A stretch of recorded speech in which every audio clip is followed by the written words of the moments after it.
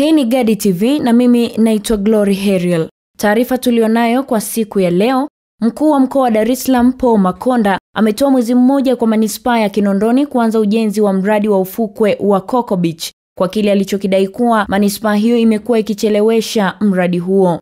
Ametoa agizo hilo jijini Dar es Salaam wakati alipotembelea eneo la ufukwe wa Coco Beach ambapo amesema kuwa manispaa hiyo imekabidhiwa bilioni kumi na nne lakini mpaka sasa wanaishia kufanya vikao tu. Amesema kuwa eneo hilo la Coco Beach limerudishwa kuwa eneo la umma ili watu waende kupumzika na Rais Magufuli tayari alishatoa bilioni kumi na nne ili kuanza kuijenga Coco Beach, lakini kwa masikitiko makubwa mpaka sasa ujenzi haujaanza.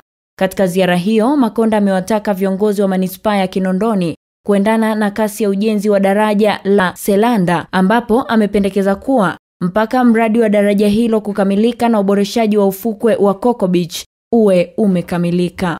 Na hii ndio taarifa tuliyonayo kwa siku ya leo, mtazamaji wa Gadi TV, ni kusii tu ya kwamba uendelee kulike pamoja na kucomment katika chaneli yetu ya Gadi TV kuweza kupata taarifa mbalimbali, lakini pia usisahau kusubscribe katika chaneli hii kuweza kujipatia undani wa taarifa mbalimbali ambazo tunakuletea. Mimi naitwa Glory Heriel, nikutakie wakati mwema.